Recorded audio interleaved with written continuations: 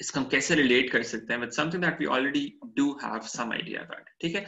So this something in coordinate geometry जो हम जो हम करते थे we used to find equation we used to find gradients of straight lines right remember so if you have for example this graph here i've got the y axis here i've got uh, the x axis here. तो इसके ऊपर कोई भी straight line होती थी that perhaps if it looked like this or if you knew any two points on this line, so let's say आपके पास एक point यहाँ पे होता, this point here. Let's say this was uh, x coordinate of this point was six, y coordinate let's say was uh, three, and let's say you got another point here somewhere. The x coordinate here, let's suppose that is if that is six. This is going to be somewhere here three. Let's say this is 1.5 the x coordinate and the y coordinate is one, right? You've got two points on the line. Now using those two points, you could find the gradient of the line. Okay, remember gradient के definition क्या होती थी? It's, it's the direction, it would give you the direction of the line. How? In terms of what is the rate of change of y in terms of, uh, with respect to x. So it's rate of change on the vertical axis with respect to the rate of change the, on the x axis. So simple words में हम कहते थे your gradient is change in y, so change in the vertical direction. So simple words में हम कहते थे change in y over the change in x. ठीक है आपने कुछ और भी पढ़े होंगे so uh, some other terminologies you might have you know heard about those. Um, जिसको हम कहते थे rise over. So what how high are you going with respect to how far you are going. So basically, आप कितना vertically move कर रहे हो as compared to your movement horizontally, rise over run भी कहते थे ठीक है लेकिन इसके by definition हम इसका formula क्या कहते थे this used to be y2 minus y1 over x2 minus x1 तो हम क्या कर सकते थे in order to find direction of the line the gradient of the line we would subtract their y coordinates. So if this is your x2, this is your y2, and this is your x1, this is your y1, तो आप क्या करते थे y coordinates को subtract करते थे because that would give you the vertical height. 3 or 1 इसके दरम्यान में इसका क्या मतलब है आपकी height कितनी हुई? This is 2 in the positive direction. आप 2 ऊपर जा रहे हो. So 3 minus 1, that is 2. And what is your change in the horizontal direction? आप वो मेजर करते थे. 6 minus 1.5 so this change here was 4.5 है ना तो आप इसको डिवाइड करते थे और आपके पास आ जाता था उसका gradient that would essentially tell you what the direction of the line is ठीक है लाइन की डायरेक्शन आपको बताता डायरेक्शन मेजर करने का एक मेथड था 2 over 4.5 uh, what is that going to be so that's uh, 4 over 9 uh, in terms of fractions uh, इसका आप डेसिमल वैल्यू आप कुछ भी इसके फाइंड कर सकते ठीक है तो ये आपने एक कॉन्सेप्ट किया हुआ है इन कोऑर्डिनेट ज्योमेट्री इसमें हम क्या करते थे? How we can find the gradient of a straight line ठीक है? All of you are very comfortable with this you been doing this since O levels तो इसमें कोई किसी को आज सच इशू नहीं होता। Now the uh, there was another thing that you did in o levels and that was what if you don't have a straight line? You have a curve instead of that. और उस curve की आपने direction find करनी है। Direction means आपने curve का gradient find करना है at a particular point. All right. The Tangent. We draw tangent. Yeah. So how would you do that in, in O levels? Uh, since you did not know any better, आप क्या करते थे आप uh, उस point के ऊपर एक tangent draw करते थे और उस tangent को use करके आपका जो tangent का gradient होता था आप कहते थे कि उस point के ऊपर आपकी curve का भी वही gradient. Let me give you an example here.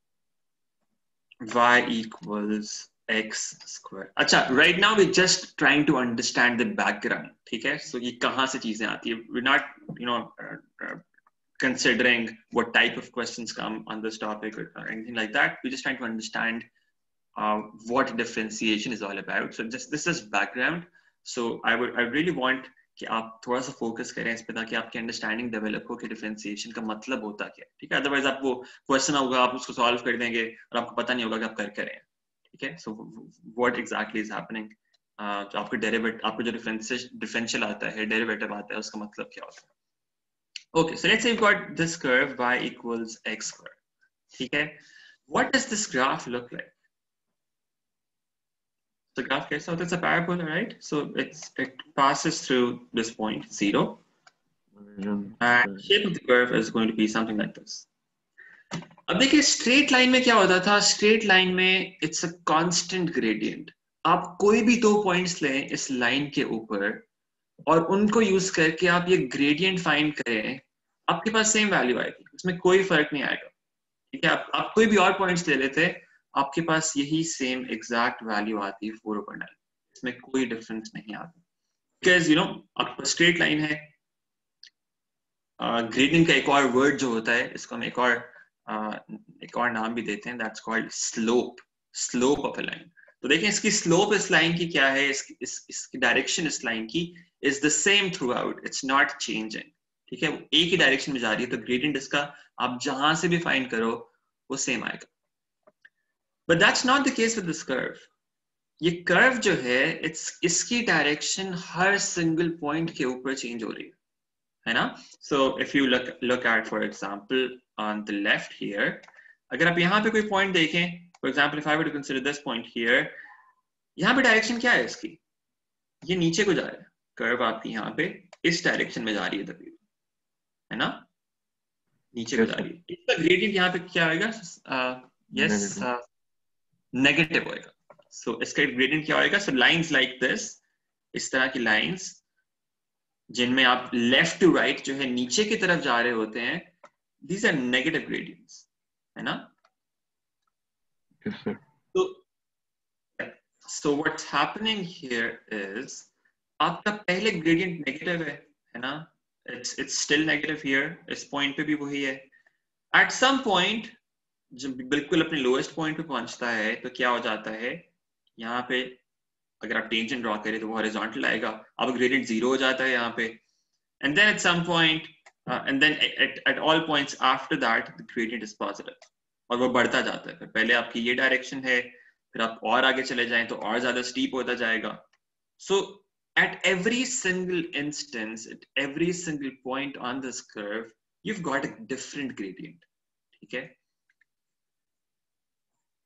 so how can you find the gradient at any particular point on this curve? अब ओ लेवल्स में हम क्या करते थे? हम कहते थे one way to think about this is कि जिस भी पॉइंट पे आपको ग्रेडियंट चाहिए, आप ये करो, उस पॉइंट पे एक टेंशन ड्रॉ कर दो। अगर मुझे इस पॉइंट के ऊपर लेट्स से ये मैंने पॉइंट मार्क किया यहाँ पे दिस पॉइंट अगर मुझे इस पॉइंट के ऊपर इस कर्व का ग्रेडियंट फाइंड करना होता what I would do is I would draw a tangent to the curve here at, at this point and that tangent may look something like this. आप यहाँ पे इस तरह का जो है एक टेंशन ड्रॉ कर देते थे that look like this ठीक है और फिर आप क्या कहते थे हम इस टेंशन के ऊपर कोई दो पॉइंट्स ले लेते हैं और उनको यूज़ करके हम उस टेंशन का ग्रेडियंट फाइंड कर लेते है ना so what you do after this is you could take for example some point here I don't know what that is. It could be anything. Similarly, some point here below there. ठीक है let's say ये आपके पास एक point आ गया x coordinate is zero y coordinate let's say आपके पास ये है minus zero point eight and let's say this point here it is uh, I don't know let's say this is three uh, or let's take a larger number five and let's say let's say 15 ठीक है so आपने tension draw किया आपके पास ये दो values आ गई at any point on the tangent आप कोई भी दो पॉइंट्स ले लें इसका ग्रेडियंट फाइंड करते हैं तो आप कहते हैं कि ये आपका कर्व का ग्रेडियंट है at this point like this 15 minus minus 0.8 divided by five minus zero तो जो टेंजेंट का ग्रेडियंट आएगा आप कहते थे कि ये कर्व का ग्रेडियंट जो है ना it's going to be approximately that this point uh, could be something let's say this point is uh, 1 uh, or let's say 2 and 4 yeah this could be a point on the इसके ऊपर let's say आप आपने जब tangent draw किया उसका ये एक value आ गई कुछ जो भी आती है यहाँ से it could be three point something three point to के करीब I guess three point one six So this would be the gradient of the curve at this particular point. Okay, it's, it's not exact, uh, but this is something that you've estimated uh, using this. Is that okay? Yes, sir. Yes. sir. अच्छा so this is what we used to do before अब देखिए इसमें आपको uh, याद होगा there used to be a lot of errors in this process because आप आप draw कर रहे हैं कोई चीज़ एक तो आपकी कर्व जो ड्रॉ करेंगे वो स्मूथ कितनी है कितनी एक्यूरेट है? कुछ आप टेंजेंट ड्रॉ कर रहे हैं वो कितना एक्यूरेट है? There are lot of factors this is that this is going to depend on तो आप कोई और बंदा टेंजेंट ड्रॉ करेगा उसको कोई और रिज़ल्ट मिलेगा। सो रिमेंबर आंसर के अंदर भी आपको एक रेंज दी होती थी कि अच्छा फॉर एग्जांपल अगर इसका एग्जैक्ट आंसर जो है इस ग्रेडियंट का if that was let's four uh, I think that's four yeah. So अगर इसका exact answer four होता होता तो आपको मार्किंग स्कीम में ना इसकी रेंज दी होती थी कि अच्छा थ्री से फाइव तक के दरमियान में अगर आपका आंसर आ जाए तो that would be acceptable right so examiner would have a range like this because the examiner knew कि आप एग्जैक्ट आंसर नहीं फाइंड कर सकते। This is just an approximate method है ना? तो उसमें चांसेस ऑफ़ एरर बहुत ज़्यादा हो सकते हैं। Now what we want to do is we want to learn a process जिसके through आप किसी भी curve का uh, there are going to be limitations in terms of uh, how complicated you can do uh, at this point लेकिन in general when we are able to uh, you know when we go to paper 3 for example how we can find gradients of most types of curves most types of functions at any particular instance without having to even draw the graph of that function. तो आप किस तरह से calculation के through, किस तरह से आप एक uh, numerical method के through, using some calculations, आप उसका gradient find कर सकते हो and that will be exact as well. ठीक है? So that's the idea of differentiation. ठीक है? That's what we're going to do. ये जो tangent के through हम gradient find करते थे, we no longer no longer need to do that. आपके पास एक कैलकुलेशन वाला मेथड है जो आप जो आप यूज़ कर सकते हो to find this gradient and that would also be exact unlike this approximate method that we used to use in O levels. Is that okay? So that's the background.